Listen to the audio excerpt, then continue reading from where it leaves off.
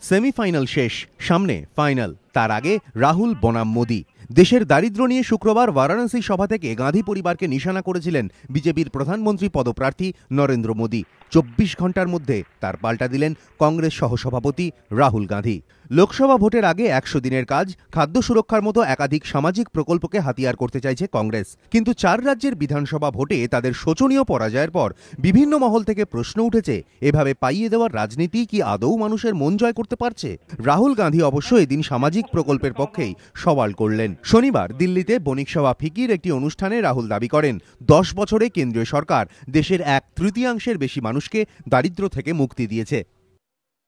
But in ten years almost a third of India's poor people have come out of poverty they have risen above line now their view that our investments in food security employment guarantee and rural development are a drag on economic growth I don't believe that there is such a trade off.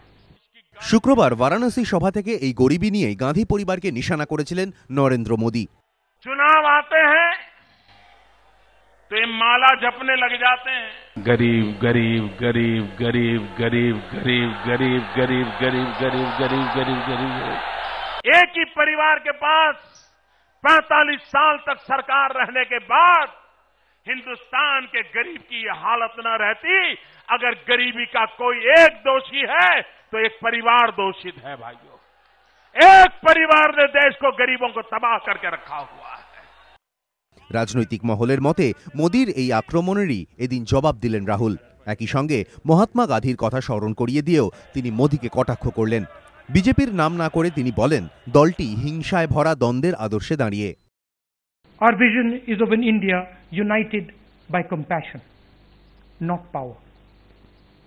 An India living in harmony, not in hatred. Thriving in peace rather than suffocating in conflict. Filled with humility, not with hubris. Lok Sabha ভোটের আগে চার রাজ্যের বিধানসভা নির্বাচনের সেমিফাইনালে ভরাডুবি হয়েছে কংগ্রেসের রাহুল অবশ্য আশাবাদী লড়াইয়ের মধ্যে দিয়ে কংগ্রেস ফের ঘুরে দাঁড়াবে এবিপি আনন্দ।